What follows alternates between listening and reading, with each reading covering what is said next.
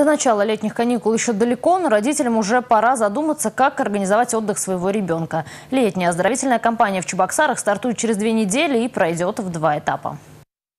С 1 апреля заявки на путевки в оздоровительные лагеря смогут подать те родители, чьи дети оказались в трудной жизненной ситуации. Для этого нужно обратиться в социальный центр по месту жительства. А с 8 апреля кампания стартует для всех чебоксарских школьников.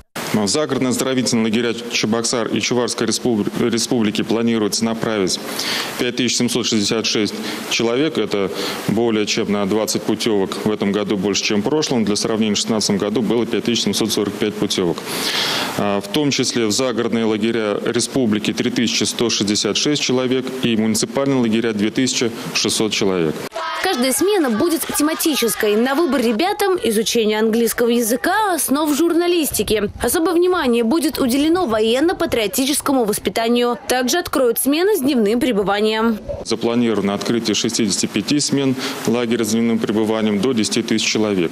Увеличение охвата детей дополнительно предполагается за счет открытия традиционных э, смен а, в школах, открытие в 11 детских садах лагерей для первоклассников, вовлечение физкультурно-оздоровительных комплексов в отдых, организация на базе центров детского и юношеского творчества смен, также проведение военно-учебных сборов, а, временная занятость несовершеннолетних и реализация проектов «Живые уроки», промышленный туризм и лето в парке. При подаче заявления на путевку можно выбрать любую смену. Регистрация проходит в единой республиканской автоматизированной системе, где указан перечень лагерей, количество свободных путевок и принятых заявок. Татьяна Леонтьева, Олег Кикимов, Республика.